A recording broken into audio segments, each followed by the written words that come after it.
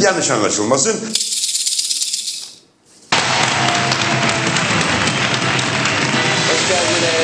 Hoş geldiniz. Aynur Hanım merhaba. Neşeli maşallah aslında. Göğsümü gere gere geldi. Göğsü Kanal D'nin Doktorun programı hakikaten çok güzel format. Başından itibaren çok istikrarlı bir çizgileri oldu ve nefis götürüyorlar. Bu da ilginç bir konu hakikaten.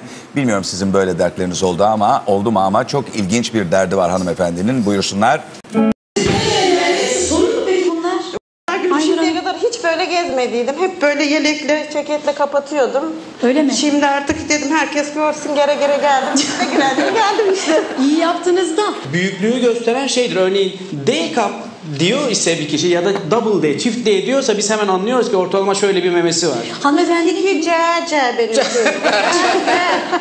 Ağrısı mı daha çok, utanması mı daha çok? Hangisi sizi Valla rahatsız ağrısı ediyor? daha çok gülüm. He. E, bir de utanması da var tabii canım. Gece adamın altına gülürse en öte gitmemem girmiş. Böyle her şeyin yanına diyorlar.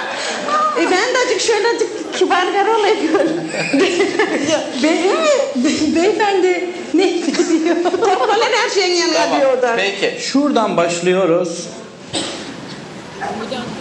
Şu bölgeyi deriyi hani etin üstündeki zarı nasıl soyarsınız? Bu bölgedeki deriyi de şeyle şunu alayım isterseniz. Dördük. Şöyle Şimdi hakikaten çok yararlı programlar. Biz de benzer problemleri olan kişileri ise geçen hafta Disko Kralı'nda değil mi benzer problemi olan bir hanımı konuk etmiştik.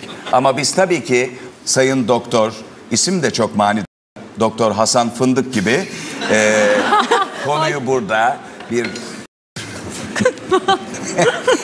heykel üzerinde işleyemediğimiz için o sorunu seyirciye anlatamadık. Ama bakın doktorun programı ne kadar güzel izah ediyor. Devam. Kaldırıyoruz. Şimdi biz bunu damarıyla birlikte şöyle kaldırıyoruz.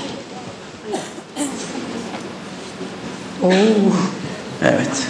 Şimdi, şimdi bu meme ucunu kesmiştik yuvarlak. Demek ki burada bir yuvarlak ucumuz kalacak değil mi? Şey, kesimiz kalacak. Ya burası da boş kaldı. Şu kenarla şu kenarı da birbirine getireceğiz orta hatta doğru ve ortada da aşağıya doğru dik bir çizgimiz olacak. Böylelikle meme operasyonu bitmiş olacak.